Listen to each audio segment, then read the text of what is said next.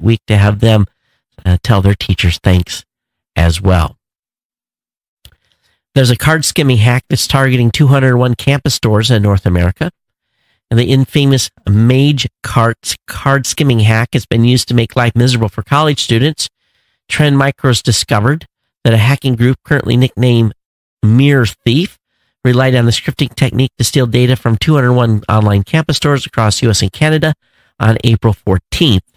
So they slip these scripts into the checkout pages of the sites and uh, they harvest full card details, names, addresses, phone numbers, number of people affected is not yet clear.